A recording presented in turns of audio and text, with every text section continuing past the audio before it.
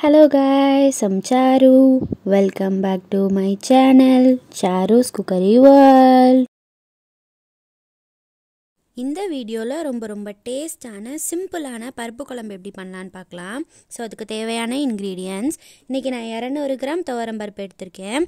ஒரு தக்காளி நாலு போல் சின்ன வெங்காயம் ரெண்டு டீஸ்பூன் குழம்பு பொடி இல்லைனா சாம்பார் பொடி பத்து போல் மிளகு ஒரு டீஸ்பூன் சோம்பு ஒரு டீஸ்பூன் சீரகம் ஒரு பிஞ்ச் மஞ்சப்பொடி ஒரு ஒரு கப் தண்ணி ஒரு டீஸ்பூன் உப்பு தாளிக்கிறதுக்கு கொஞ்சமாக எண்ணெய் ஒரு டீஸ்பூன் கடுகு ஒரு டீஸ்பூன் உளுந்தம்பருப்பு கொஞ்சமாக கருவேப்பிலை ஒரு டீஸ்பூன் போல் வெங்காயம் ஒரு பச்சை மிளகாய் அரை டீஸ்பூன் வெந்தயம் ஒரு ஒரு பிஞ்ச் பெருங்காயம். இப்போ நம்ம ரொம்ப சிம்பிளான பருப்பு குழம்பு எப்படி பண்ணலான்னு பார்க்கலாம் வாங்க. அதுக்கு ஒரு குக்கரில் இரநூறு கிராம் தோரம்பருப்பு எடுத்துக்கோங்க. இது கூட ஒரு தக்காளி நாலு போல் சின்ன வெங்காயம் ரெண்டு டீஸ்பூன் குழம்பு பொடி இல்லைனா சாம்பார் பொடி. பத்து போல் மிளகு.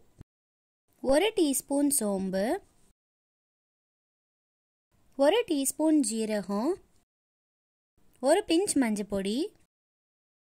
ஒரு கப் தண்ணி ஆட் பண்ணிக்கோங்க. இது கூட ஒரு டீஸ்பூன் எண்ணெய் ஆட் பண்ணிக்கோங்க ஒட்டாமல் வரும்.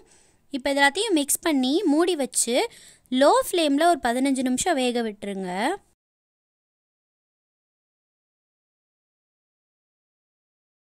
இப்போ பதினஞ்சு நிமிஷம் ஆயிடுச்சு நல்லா வெந்திருக்கும். ஓப்பன் பண்ணி பார்க்கலாம். ஸோ நல்லா வெந்துருச்சு. இதை லைட்டாக மிக்ஸ் மட்டும் பண்ணி விட்டுருங்க. இப்போ இதை மிக்ஸ் பண்ணிவிட்டு இதுக்கு தேவையான அளவு உப்பு ஆட் பண்ணிக்கலாம். ஃபஸ்ட்டு ஆட் பண்ணாதீங்க. ஒரு ஒரு டீஸ்பூன் உப்பு மட்டும் ஆட் பண்ணிக்கோங்க. நான் கல் உப்பு தான் ஆட் பண்ணியிருக்கேன். இப்போ உப்பு சேர்த்துட்டு இதை நல்லா மிக்ஸ் பண்ணி விட்டுருங்க. இப்போ இதை நம்ம தாளிச்சிடலாம். அதுக்கு ஒரு வடச்சட்டி எடுத்துக்கோங்க. அதில் ஒரு ரெண்டு டீஸ்பூன் எண்ணெய் விட்டுக்கோங்க. எண்ணெய் சூடானதும் ஒரு ஒரு டீஸ்பூன் கடுகு ஒரு டீஸ்பூன் உளுந்தம்பருப்பு இது ரெண்டையும் சேர்த்து நல்லா சாட்டை பண்ணிவிட்டு இது பொரிஞ்சதுக்கப்புறம் இதில் கொஞ்சமாக கருவேப்பிலை சேர்த்துக்கோங்க. இது கூட ஒரு ஒரு டீஸ்பூன்லேருந்து ரெண்டு டீஸ்பூன் வரை பெரிய வெங்காயம் சேர்த்துக்கோங்க கொஞ்சமாகவே சேர்த்துக்கோங்க. இப்போ இதில் ஒரு காஞ்ச மிளகாய் சேர்த்துக்கோங்க. இது கூடவே ஒரு அரை டீஸ்பூன் வெந்தயம் சேர்த்துக்கோங்க. வெந்தயம் ரொம்ப கருகிடக்கூடாது அப்புறம் கசக்கும்.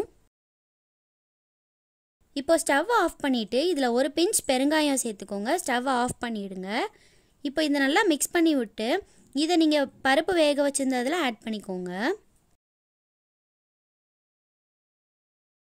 இப்போ அதை மிக்ஸ் பண்ணி இறக்குனீங்க அப்படின்னா ரொம்ப ரொம்ப சிம்பிளான ஈஸியான பருப்பு குழம்பு ரெடி இது நீங்களும் வீட்டில் ட்ரை பண்ணி பார்த்து எப்படி இருந்துச்சுன்னு கமெண்ட் பண்ணுங்கள் வீடியோ பிடிச்சிருந்தா லைக் பண்ணி சேனலுக்கு சப்ஸ்கிரைப் பண்ணிடுங்க தேங்க்யூ